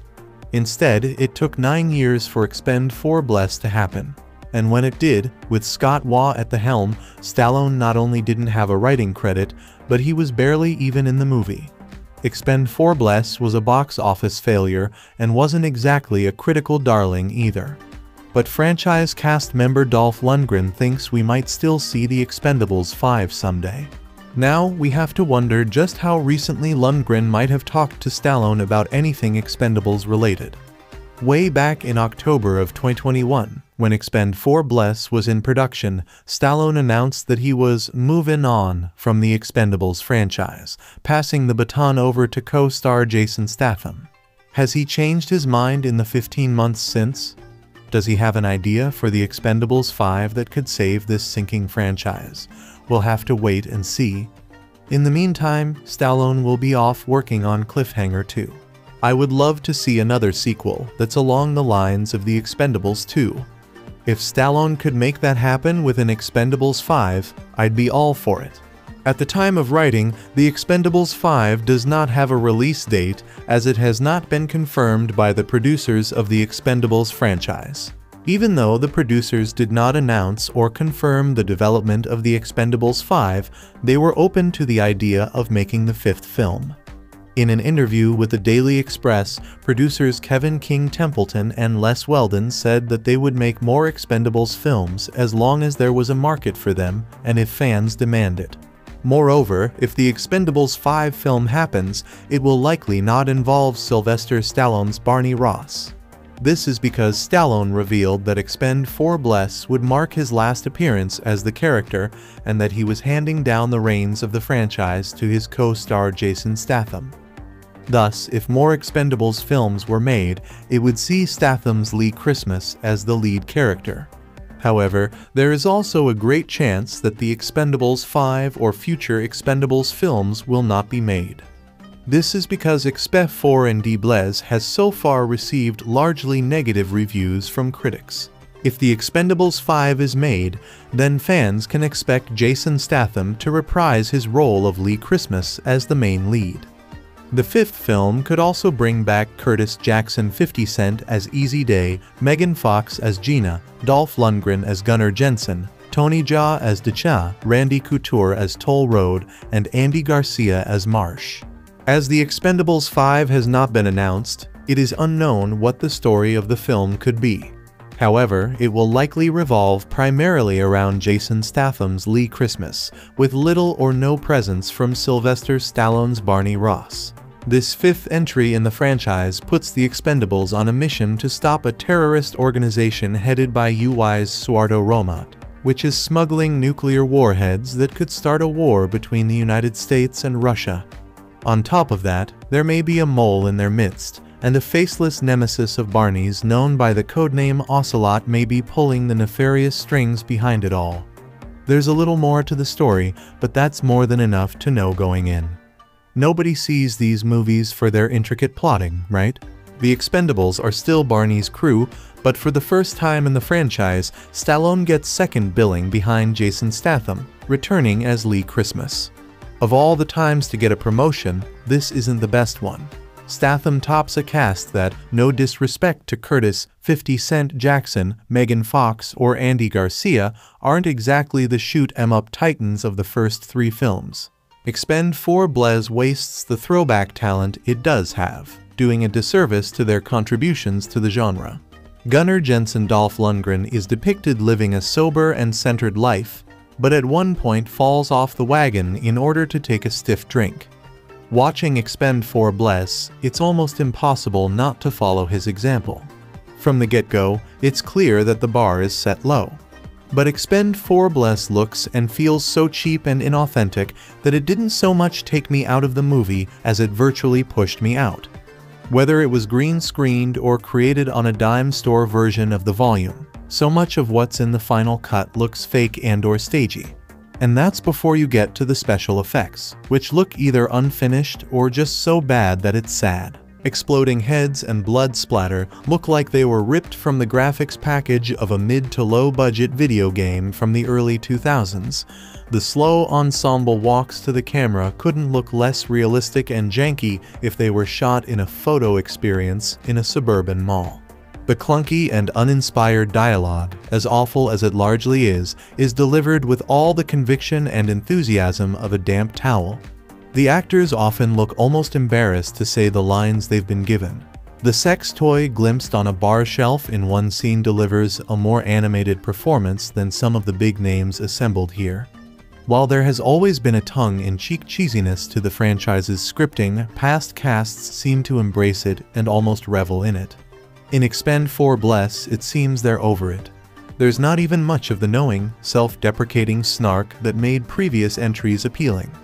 There are nods to Sly's previous on-screen action endeavors, such as Barney's history of thumb wrestling rather than arm wrestling, a la Over the Top prompting Christmas to dub him Thumbo. But it lands as weakly as it's delivered a run of half-hearted gags about Toll Road's Randy Couture wrestling-related ear injury and a wig that Jensen dons runs out of steam almost as quickly as it starts.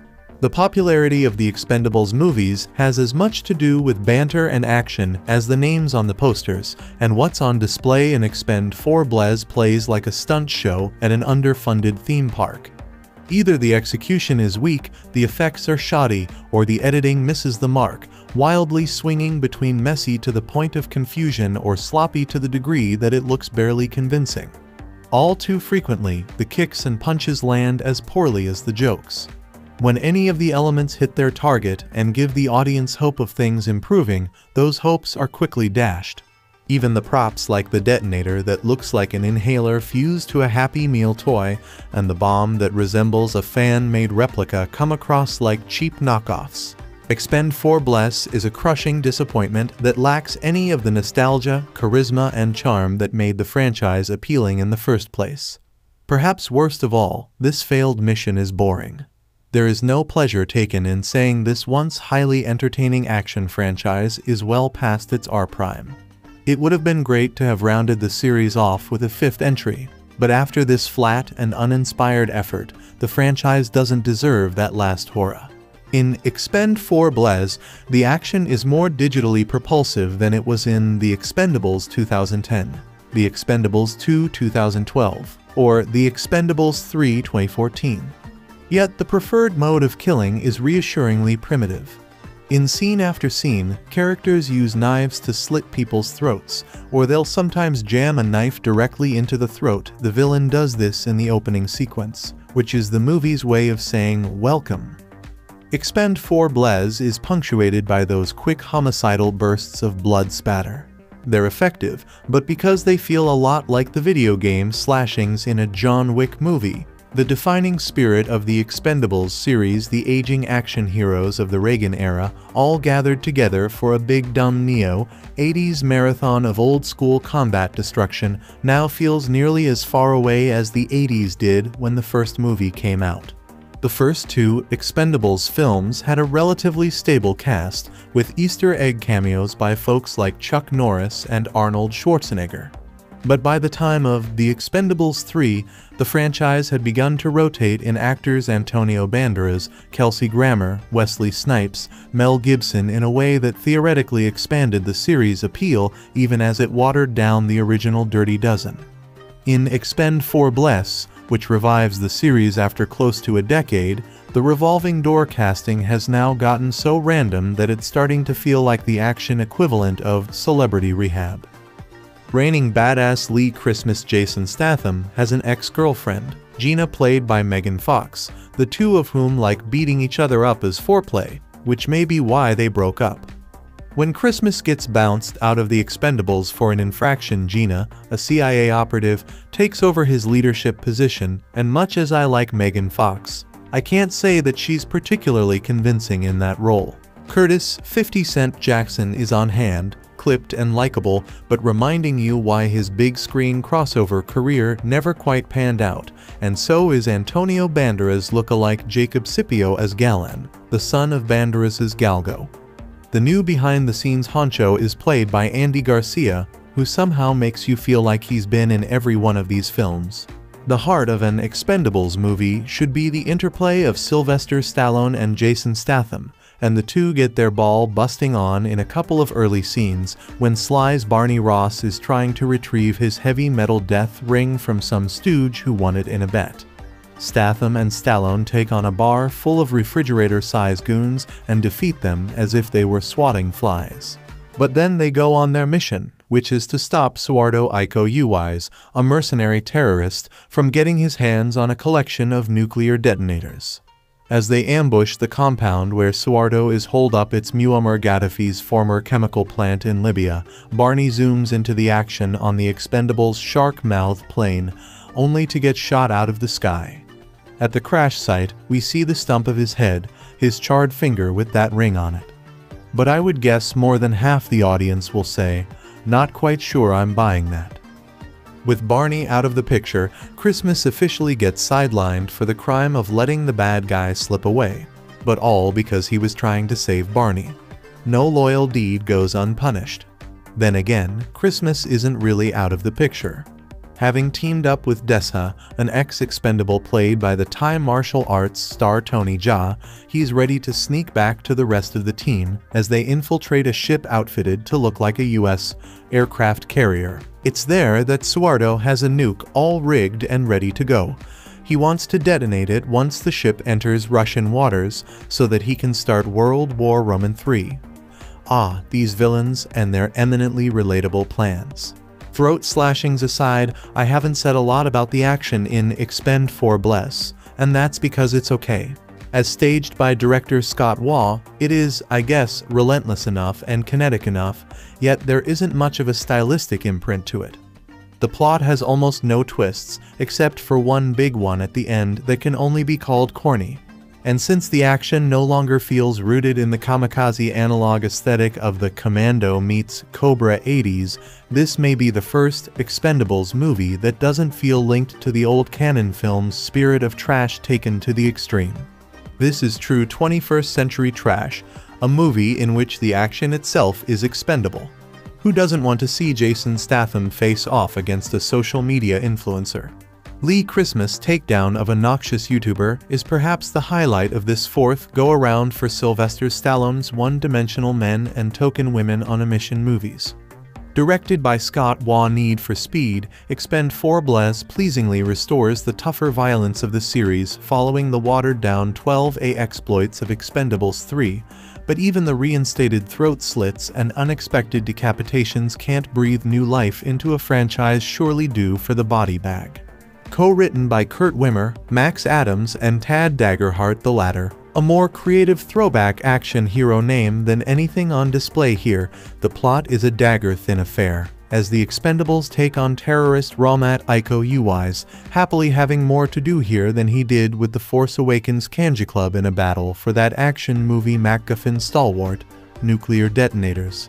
After a lengthy, largely uninspired set piece in Colonel Gaddafi's chemical plant, the story complicates as Rahmat is revealed to be working for a mysterious figure known as Ocelot. It's never explained why he is named after a medium-sized spotted wild cat who left Ross high and dry on a sortie years ago. This is all tied into some guff about orchestrating a war between the S and the Russians, but it doesn't really matter because what is important here is Statham's souped-up knuckle duster. As a movie crew, the Expendables are a mostly charmless bunch Randy Couture's Toll Road has a personality built around a cauliflower ear, and the chemistry between the vaunted trinity of Stallone, Statham and Lundgren is four films and still difficult to discern.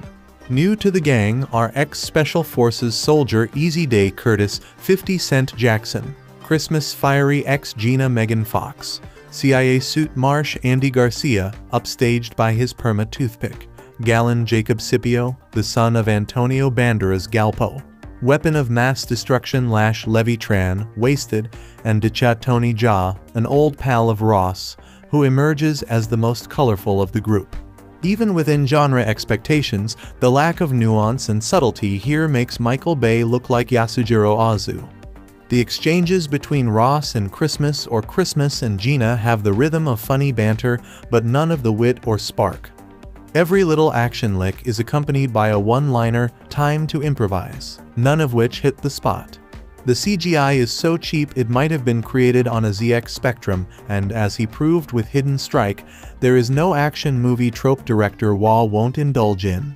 Motorcycle porn check, halo jumps check, slow motion group walking shots twice. There are surprises you'll see coming a mile off, and the whole thing is marred by a lack of pace, invention, and brio. It gets a tad Daggerhart better when the action moves to a tanker at sea, and there's a hint it has a firmer sense of its own stupidity. There is a shootout around the most cartoonish nuclear explosive imaginable, Don't Shoot by the Bomb, that segues into a fun-ish motorbike chase around the ship that leans into the sense of the ridiculous that marks out the Fast and Furious series. When a self-reflexive 50-cent needle drop blares out, you feel a bit more of that carefree, nutty energy wouldn't go amiss. At one point, in one of the most convoluted zingers of the year, Statham's Christmas is likened to genital warts. The gist is that, like the STD, he is not welcome and refuses to go away. The observation could well be applied to the Expendables franchise. If you really want to see a crack unit of no-nonsense professionals blow shit up, stick with Oppenheimer. It's no secret that The Expendables 4 flopped at the box office. After a dismal $83 million opening weekend, The Expendables sequel failed to make up lost ground, ending its box office run with a paltry $37.9 million worldwide. Now, Dolph Lundgren says he has some idea about what went wrong. I didn't read the reviews because I kind of knew what they were gonna say, he told Screen Rant. That project had issues from the beginning, and it usually starts with the script, it really didn't really have a good script. Lundgren has played Gunnar Jensen since the franchise debuted in 2010 with The Expendables. However, the longtime action star explained that previous installments met a certain caliber thanks to Stallone's original scripts. But this time around, Stallone wasn't involved in the writing process. I'm not playing the lead, so it's hard for me to weigh in on some of those issues, he explained. But I know Stallone wasn't involved like he usually is.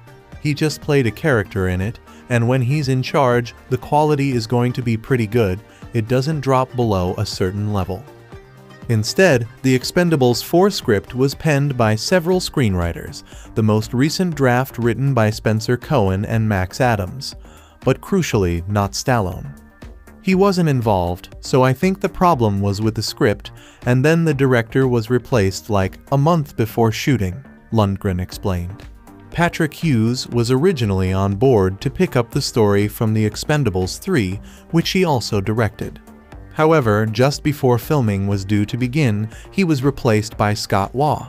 Unfortunately, all of this added up to what sounds like a pretty troubled production that had already been hit with delays due to the COVID-19 pandemic.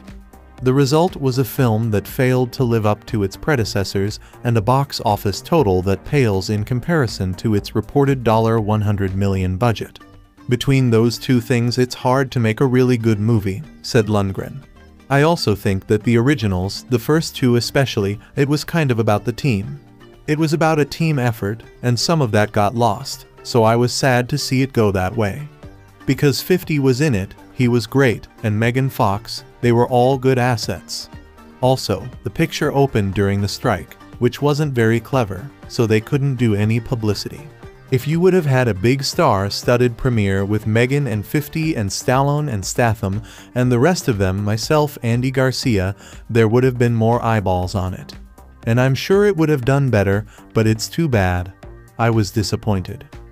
Ein's The Expendables 4 review gave it 310 and said, Expend4bles is a crushing disappointment that lacks any of the nostalgia, charisma, and charm that made the franchise appealing in the first place. Perhaps worst of all, this failed mission is boring. There is no pleasure taken in saying this once highly entertaining action franchise is well past its R-prime. It would have been great to have rounded the series off with a fifth entry, but after this flat and uninspired effort, the franchise doesn't deserve that last horror. Want to read more about the Expendables? Check out how to watch The Expendables 4 online and why Jean-Claude Van Damme was rejected from the Fast and Furious franchise. Sequels and sequels of sequels have trouble differentiating themselves from their brethren from time to time. But Expendables 4 or Expend4bles, as this fourth and final entry in the mercenary-based action series has been marketed, indisputably takes the cake for recycling previously used material in a not exactly fresh context. At least the final third and maybe more of this jokey, fight-filled, and increasingly effects-driven last hurrah is nearly a twin brother to the climactic stretch of last month's waterlogged Jason Statham extravaganza Meg 2. The trench, wherein the rugged Brit takes on and once again prevails over a sea monster that makes Moby Dick look like a backyard swimming pool pet. It really is a shameless borrowing that's impossible to ignore if you've seen Meg 2, as the tireless former male model with perfectly maintained facial stubble once again earns his status as master of the seven seas. The all-star Macho Man cast, through the first three entries beginning in 2010, featured the more than muscular lineup of Statham, Sylvester Stallone, Arnold Schwarzenegger, Dolph Lundgren, Terry Crews, Jet Li and Randy Couture. In addition, the likes of Bruce Willis, Mel Gibson, Antonio Banderas, Wesley Snipes, Mickey Rourke, Chuck Norris, Liam Hemsworth, and Jean-Claude Van Damme turned up for either one or two films apiece, as the trio of picks bravely withstood general critical dismissal to rake in nearly 600 million worldwide. However, revenues did drop severely with the notably inferior third installment in 2014, which at the time marked the end of the ride. For some time, there were no visible signs that the star-studded franchise was likely to rise from the dead, but when Stallone decided to come on board others followed, resulting in a pretty solid cast led by Statham. The initial stretch is, perhaps unavoidably, hokey but not unagreeable given the company involved. The familiar, and let's face it, old faces are all provided with entrances, and something resembling a homecoming as they turn up in a big old-time barroom. Where the usual good-natured rough stuff prevails, you'd almost think you were back in the Old West given the combined years of those involved. No matter if you're a serious fan of these guys or not, there is something familiar and comforting seeing this old gang together in such numbers. You know some bad stuff lurks around the corner, but having survived this long, everyone is pretty larky about things and ready for a little fun. And a little fun is what you get about as much as you'd rightfully expect at a class reunion where almost everyone is on the far side of a half century. But at a time when 70 is the new 50, especially where movie stars are concerned, they're all pretty sharp and in great shape compared to what prevailed in previous generations. To be sure, they may lament or joke about the passing of the years in self-deprecating ways, but these film stars who have, more or less, stood the test of time and can still deliver in kick-ass ways that belie their actual ages whatever they may be when the script lets them. The interplay is reasonably fun for short stretches. Where else are you going to see Jason Statham reading the want ads for a job? But there is serious stuff to attend to. Did Statham remember to get his stubble trimmed this morning? Would you believe there's a nuclear bomb on their ship that is heading for the China Sea? Or is there really a giant sea creature that looks exactly like the one in Meg 2 swimming around that means to eat anything and everything it can sink its enormous teeth into? Could there actually be two Meg 2s? So after a quick trip partway around the world, it's Statham and a giant fish battling it out in ways that look absolutely identical to the way they fought each other the last time in Meg 2. It might be passably interesting to watch except for the fact that we already saw it a month ago. Couldn't the writers think up something new? Maybe they intended to fix it up, but then the writers' strike came along and they couldn't work on it anymore. Despite the incidental amusement provided by the many named stars who turn up here for differing lengths of time, Expendables 4 is ambushed by its own utter lack of new ideas or better ways to use the talents of the many charismatic actors who did turn up to work for various lengths of time. But one thing for sure, we definitely don't need a Meg 3 anytime soon. Get busy with something else. The Expendables is an American ensemble action thriller franchise conceived by David Callaham, spanning a film series written by Sylvester Stallone and additional media.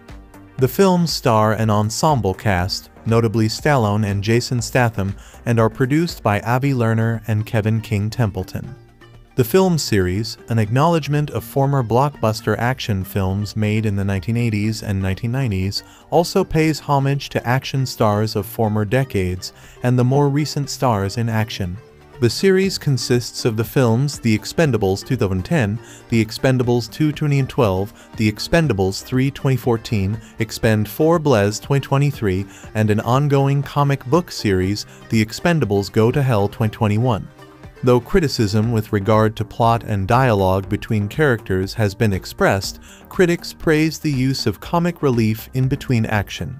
In May 2012, it was announced that a television spin-off of the film series had entered development at Lionsgate. One in March 2015, it was confirmed that the franchise would expand, with a television event series in active development.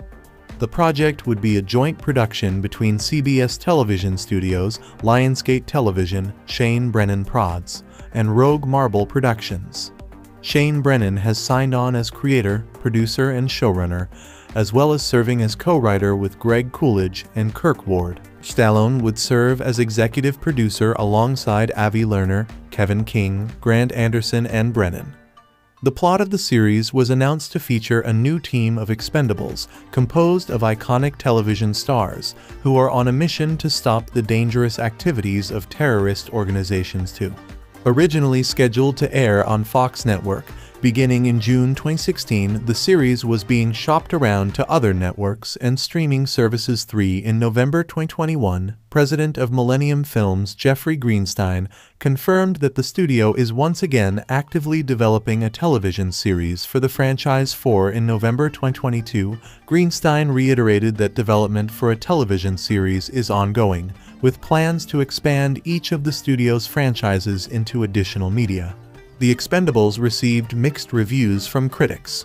On review aggregator Rotten Tomatoes, the film has a 42% approval rating based on reviews from 210 critics, with an average rating of 5310. The website's consensus states, it makes good on the old school action it promises, but given all the talent on display, The Expendables should hit harder. 13 on Metacritic, which assigns a normalized rating out of 100 to reviews from critics, the film has received a mean score of 45. Based on 35 reviews 14 audiences polled by CinemaScore gave it an average grade of B plus 21. The Expendables 2 received mixed reviews from critics. On Rotten Tomatoes, the film has a 67% approval rating from 134 critics, with an average rating of 5.9 out of 10. The website's consensus states, taut, violent, and suitably self-deprecating, The Expendables 2 gives classic action fans everything they can reasonably expect from a star-studded shoot-'em-up for better and for worse. Metacritic gave it a score of 51 out of 100, based on reviews from 28 critics, indicating mixed or average reviews. CinemaScore polls reported that moviegoers gave the film an average grade of a minus on an A plus to F scale. The Expendables 3 received negative reviews from critics. On Rotten Tomatoes, the film holds a 31% rating based on 178 reviews with an average rating of 4.9 out of 10. The site's consensus reads, like its predecessors, The Expendables 3 offers a modicum of all-star thrills for old-school action thriller aficionados, but given all the talent assembled, it should have been a lot more fun, 17 on Metacritic, the film has a score of 35 out of 100 based on reviews from 35 critics a team. Expend4bles was panned by critics, with much criticism aimed at its lackluster CGI. On the review aggregator website Rotten Tomatoes, 13% of 104 critics' reviews are positive, with an average rating of 3710. The website's consensus reads, Solid work from Jason Statham, and some halfway decent set pieces aren't enough to make up for Expend4bles lackluster action and cheap-looking effects. 24 Metacritic, which uses a weighted average, assigned the film a score of 29 out of 100 based on 28 critics, indicating generally unfavorable reviews. 20 audiences surveyed by CinemaScore gave the film an average grade of B- on an A plus to F scale. In May 2013, Original Entertainment confirmed to have sealed a five-picture deal with Millennium Films to produce Bollywood remakes of First Blood, The Expendables, 16 Blocks, 88 Minutes, and Brooklyn's Finest, with the productions for First Blood and The Expendables expected to start at the end of that year. In October 2012, plans for an all-female-centered film were announced titled The Expendables. Karen McCullah and Kirsten Smith were hired to co-write the script, while Avi Lerner, Mark Gill, Julie Kroll, Boaz Davidson, and Kevin King will serve as producers. 34 The film was intended to be a joint production between Millennium Films, Eclectic Pictures, and Summertime Entertainment. 35 Stallone is not involved with the project. 36 by the following month, Lerner had entered early negotiations with actresses Meryl Streep, Cameron Diaz, and Milla Jovovich to star in the film. 37 The producers stated that they were looking for a female director for the project, while also stating that principal photography was scheduled to take place in Bulgaria, where previous installments had been filmed. 38. By February 2014, it was announced that Robert Luketic had been hired as director. Stallone stated that he is not involved with the spin-off, but that he would like to see Sigourney Weaver appear in the movie 2940 by August. Lerner stated that the script was nearing its final draft 41 later that month. The studio released an updated official synopsis for the film as, The Expendables universe has a new team. an elite group of highly trained female mercenaries are brought together for a covert hostage rescue mission. Once they are behind enemy lines, the women discover that they will also need to topple an evil dictator bent on world domination. It becomes clear there is no such thing as the right man for the job. The Expendables is the ultimate story of female empowerment and kick-ass teamwork. 42 all studios involved had intended to begin production early 2015-43 in November 2022, president of Millennium Films, Jeffrey Greenstein officially stated that the project was shelved, stating that the project went through various iterations of having to explain why a team of only females was the center of the movie, the creatives have opted to instead integrate more female characters into the franchise.